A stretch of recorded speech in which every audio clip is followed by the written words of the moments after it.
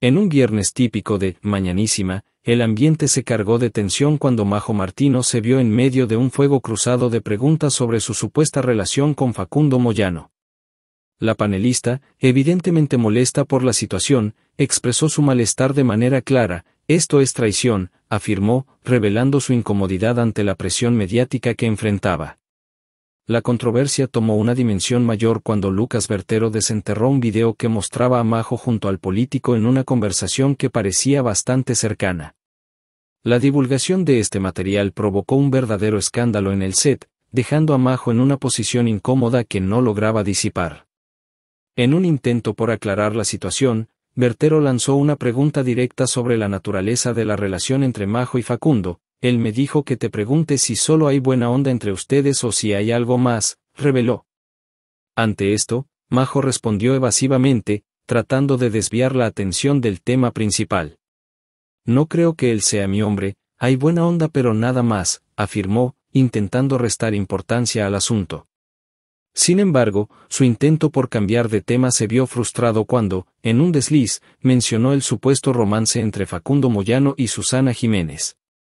Me contó de su romance con Susana, dijo Majo, antes de taparse rápidamente la boca. La mención de la icónica conductora generó un silencio incómodo en el estudio, y las miradas de sorpresa y complicidad entre los presentes hablaron por sí solas. La situación, sin duda, dejó a Majo Martino en una posición delicada. A pesar de sus intentos por desviar la atención y minimizar la importancia de la relación con Facundo Moyano, el desliz involuntario reveló una información potencialmente explosiva que podría tener repercusiones inesperadas. En resumen, lo que comenzó como un intento de desmentir rumores sobre su vida personal terminó exponiendo una verdad incómoda que afecta a más de una persona en el mundo del espectáculo. La situación pone de manifiesto la fragilidad de la privacidad en un entorno mediático y la importancia de ser cauteloso al hablar en público. ¿Cuántas veces hemos caído en deslices que podrían haber tenido consecuencias inesperadas? La historia de Majo Martino nos invita a reflexionar sobre la importancia de la prudencia y la discreción en nuestras interacciones públicas. Y yo empecé a grabar. Parezco metida ahí de las Uy, uy, uy, uy. Así como. ¿Sabe que na- Nadie está viendo la pareja, todos están viendo. Eso No, no, no, para, vamos de nuevo. A ver, ¿qué No, pasa? así como cuando un día Alberto se fue enojado y lo seguí con el teléfono y lo grabé, yo genero contenido para el programa y me parecía que esto era Horror. una Eso es imagen. traición, querido. Yo, yo te voy a empezar a grabar a vos. Pero bueno, acerca él, vos fijate acerca. la mirada de él, Y después Vamos a hacer. hacer. postura de él. Hugo Lescano, hagámonos. brazos en jarra. Yo me estoy protegiendo. Mira, mi brazo Es- adelante. sí. Él tiene brazos en jarra Qué que exigida. significa acá estoy yo. Qué exigida esa remera. Virilidad. H154. Sí, este, y mira, y ahí se captura esta imagen. ¡Opa! Qué malo que son. ¿Cómo congelaron una imagen? Perdón, ¿le puedo preguntar algo de verdad? ¿No te gusta un poco?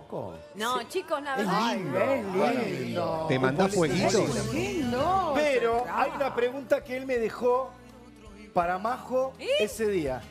¿Se dejó una pregunta? Cuando se va, yo me acerco a saludar a él y a la gente que lo acompañaba y me di- y, porque, bueno, gracias, qué sé yo, y me dice, pregúntale a Majo si solo hay buena onda o algo más. ¡Opa! Ah, bueno. Ah, bueno. Esa pregunta te la, te la estoy haciendo ahora. Micrófono. Nació para ti. No. Ese es tu hombre. No, no creo que sea mi hombre. Pero, a ver, hay buena onda porque lo conozco hace años. Ah. Ya te digo, un día fuimos a comer con. Connie Ansaldi y tenemos buena onda. A partir de ese momento me contó de su romance con Susana. Ay, pa- pará. Se le escapó. De su romance con Nicole y todo un montón de cosas. Y bueno, Ah, entonces salió Se con Susana. complicó. Lo dijiste vos.